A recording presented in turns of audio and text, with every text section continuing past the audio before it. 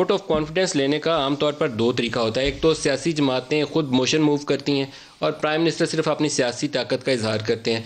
दूसरा president of Pakistan आइन के आर्टिकल 91 क्लॉज सेवन के तहत जब उन्हें ये लगे कि प्राइम मिनिस्टर ने अक्सरियत का अतमाद खो दिया है तो तो उन्हें आ, उन्हें वो कहते हैं they ask the prime minister to seek a vote of confidence in the house division of house होती है बाकायदा।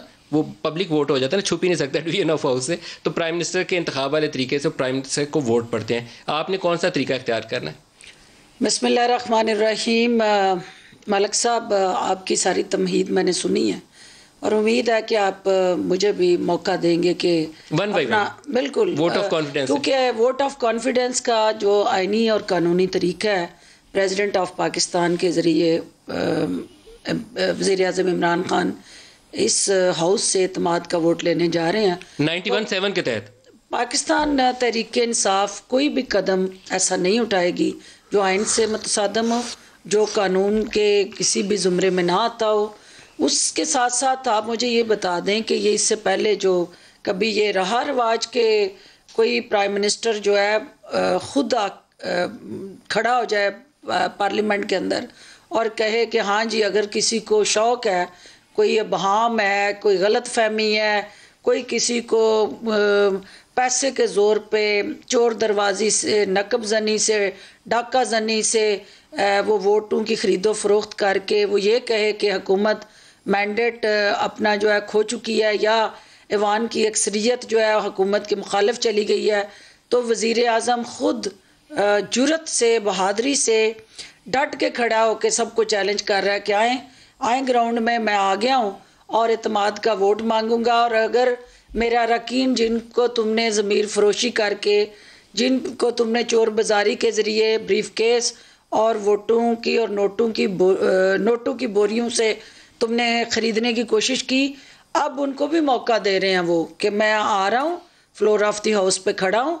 अगर आपको मेरे से कोई तहफ़ात है, मेरे से आपको कोई गिला शिकवा है और आप चाहते हैं कि किसी और को वोट दें तो खुल के सामने आए। अच्छा, और या आप मुझ पर अतमाद करें या आप अदम अतमाद करें। ये मुनाफ्त जो है पाकिस्तान की सियासत में अब नहीं चलेगी। डॉक्टर साहब एक सवाल है।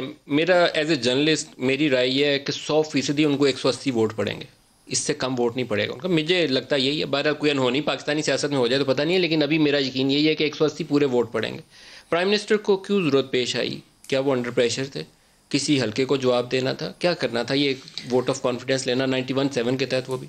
देखिए प्राइम मिनिस्टर का मकसद इकतदार में रहना नहीं है, कि इकतदार के साथ चिमटा रहे। जो प्राइम मिनिस्टर के मिजाज को जानते हैं, उन्होंने हमेशा जारहाना इनिंग्स खेली है, जारहाना बॉलिंग कराई है, और हमेशा जो है, वो क्रीज पर खड़े होकर टुक टुक करके सिर्फ़ उस मैच को खेलना मकसद नहीं है।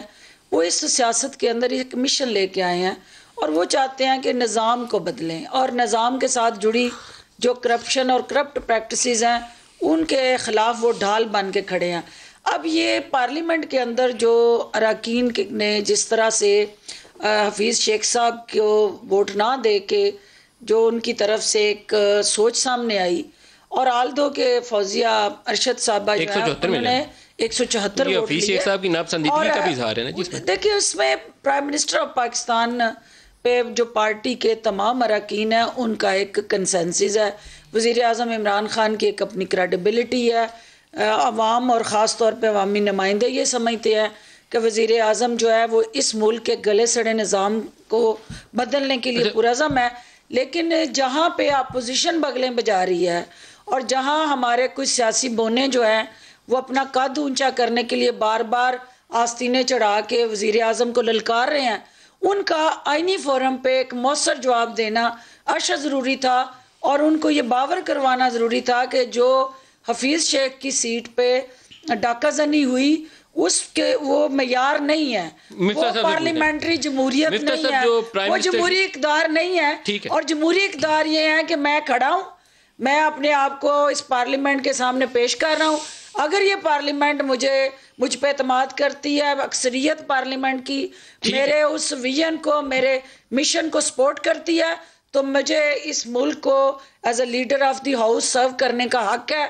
अगर ये पार्लियामेंट समझती है कि नहीं अक्सरियत समझती है कि नहीं मेरी परफॉर्मेंस पुअर है और मैं जो है उन इकदार पे पूरा नहीं उतरता तो उनको हक है कि वो मेरे खिलाफ वोट दें।